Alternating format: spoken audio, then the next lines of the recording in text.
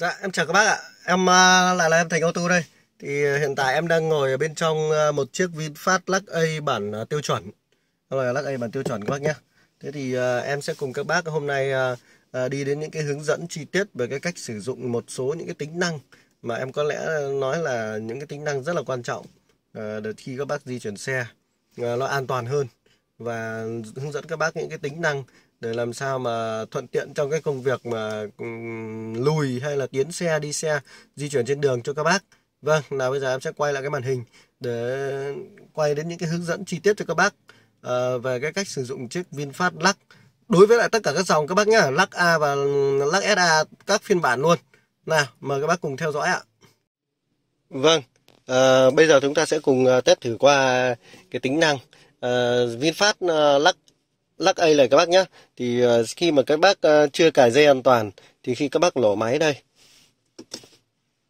Đấy. và kéo về vị trí D thì phanh tay điện tử nó sẽ không tự động hạ. Đấy. Các nhìn thấy chưa? Phanh tay tự động điện tử nó sẽ không tự động hạ. Đấy. của cha mẹ đã tạo tần sớm hôm nuôi ta khôn lớn. Một rồi Thế nhưng mà khi mà chúng ta cài phanh tay ờ, cài uh, dây an toàn thì phanh tay điện tử nó sẽ tự động hạ. Các bác sẽ cùng uh, em uh, chờ một chút nhé. Uh, bây giờ em sẽ cài dây uh, an toàn. Đây, các bác nhìn nhá, em đã cài phanh tay, cài cái dây an toàn rồi. Thì bây giờ em sẽ nổ máy. Rồi, thử vị vị chi D nào. Đấy các bác nhìn thấy chưa? Nó sẽ tự động hạ phanh tay. Đây là một trong những cái tính năng tính năng khá là hay của uh, VinFast lắc uh, lắc A. Đấy.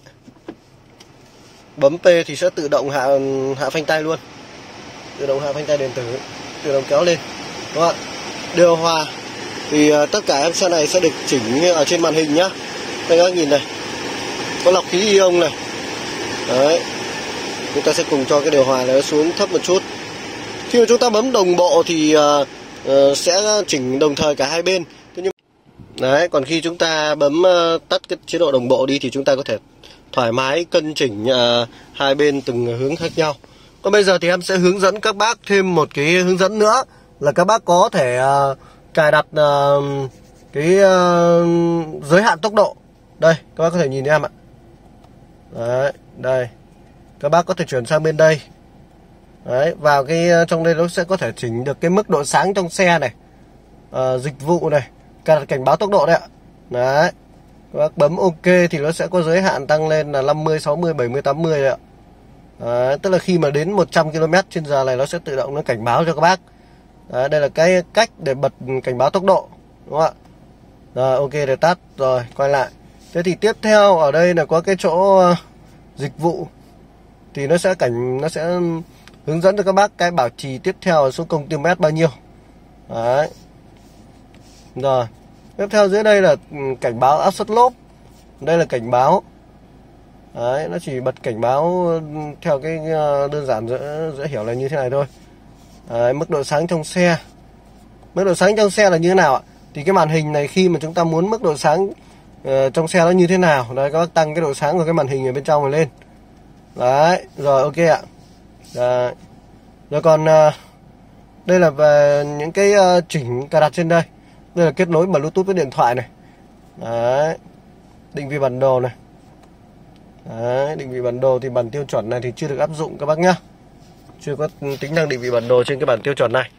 Còn bây giờ thì em cũng sẽ test cái tính năng gọi là hướng dẫn cho các bác ờ, cái tính năng gọi là cái gương kia nó sẽ tự động nó uh, gập xuống bánh phía đằng sau khi mà chúng ta vào số lùi. Đây em sẽ vào số lùi cho các bác xem này. Các bác để ý nhá các để ý khi mà em vào số lùi thì cái gương kia kìa. Nào. Đấy, nó tự động nó cụp xuống. Đấy. rồi đấy.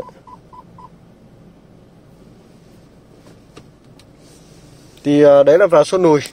Thì gương nó sẽ tự động cụp xuống các bác nhé. Đây là chỗ cổng cắm sạc ờ, 12V 120W này. Về cơ bản thì đây là những cái tính năng mà có thể là các bác khi đi xe VinFast Lux A, Lux A và Lux SA không nắm được. Đấy. Thế thì ờ, về sơ bộ thì nó là như vậy. Và còn đây là cái tính năng iStop tức là khi mà các bác dừng xe nó sẽ tự động tắt máy nhưng mà ừ, các bác có thể tắt cái tính năng để đi bằng cách bật lên là cái đèn này nó sáng thì nó nó sẽ tắt cái tính năng đó đấy rồi thế thì uh, đây là cái video hướng dẫn hôm nay của em có thể là tạm thời kết thúc ở đây. Nhưng mà ừ, trước tiên thì ờ, em sẽ nói qua một cái tính năng nữa rất là hữu ích khi mà cái ờ, các, các bác nhìn cái đèn này không ạ? Nó là cái cảm biến ờ, thân nhiệt. Nó sẽ đo cái cảm khi mà có người ngồi trên xe.